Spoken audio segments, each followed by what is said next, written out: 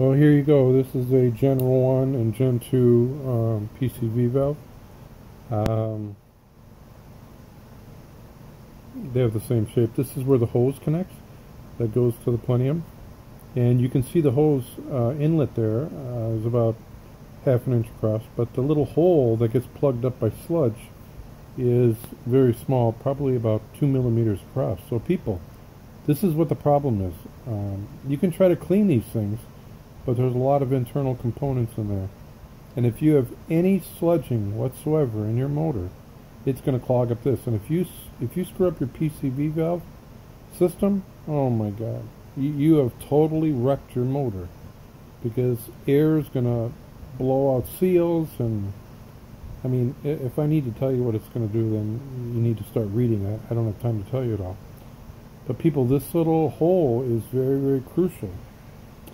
So um, one way you can really test this, you can uh, pull out on your bank one, which is the passenger side, on a front wheel drive, excuse me, on a rear wheel drive, and then uh, on the side that's facing the um, uh, passengers um, on a front wheel drive vehicle, that's bank one. So um, what you can do, you can pull out the, on the very back of the valve cover,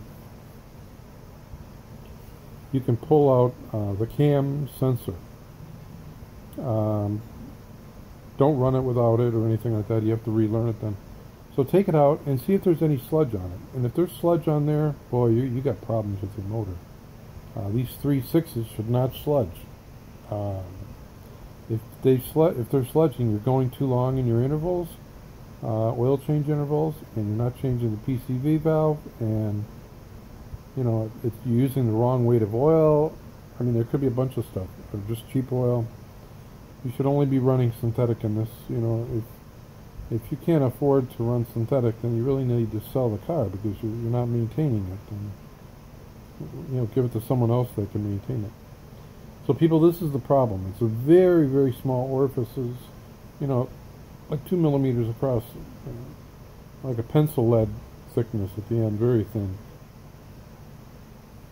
And about 20% that I pull off, I, I keep these in stock. Uh, S&P brand, they're about 30 $35 or so. A Rock Auto, you can get them. Um, I keep them in stock, and I change these out. And I, between 20 and 40% are plugged up.